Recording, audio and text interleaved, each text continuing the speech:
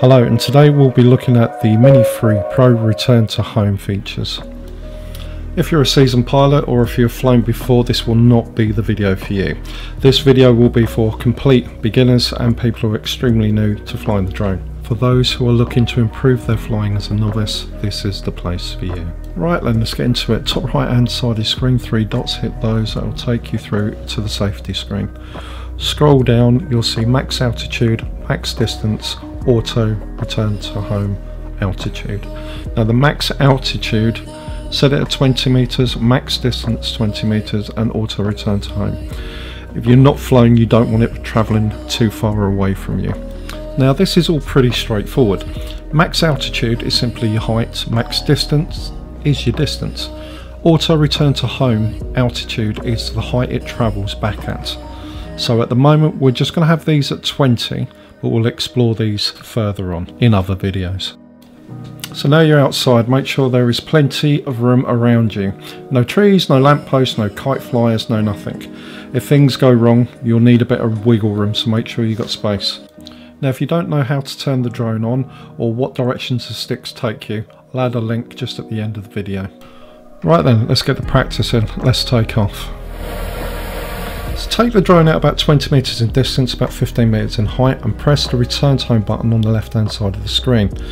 Once this is initiated you'll see the green circle that will appear. Also this will be replaced by a red circle with a white cross which is tapped to cancel return to home. If anything does go wrong you can press that button and the drone will stop but do not touch the controller.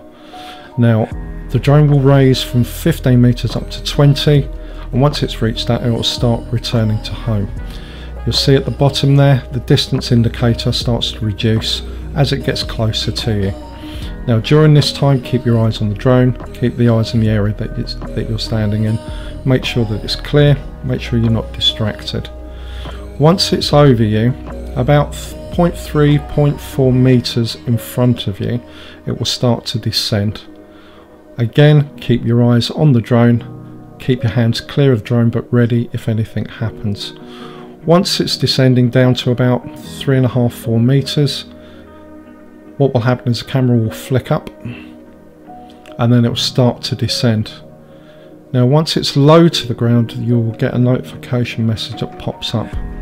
Make sure the area is clear, so make sure it is. Takeoff and landing on a nice flat surface is always a bonus. So just press OK on the screen and it will continue to drop down and land. Now you'll need to do this a few times, get used to it. Press the button, see the return to home, but always keeping a clear line of sight. Make sure there's no birds around, make sure that there's no trees around, make sure that it's all clear and correct. And again, if you panic, press the red um, circle with the white, white cross in it, and that will stop the flight. Now here's a different view of how it looks when it's coming in. As you can see it stops and then it starts to make its descent. Again, make sure that it's clear and keep your eyes peeled for in case of any dangers that may pose as a threat. So these things don't happen overnight, so go out there, get practicing. Do this to your heart's content. Keep practicing and learn to trust the drone.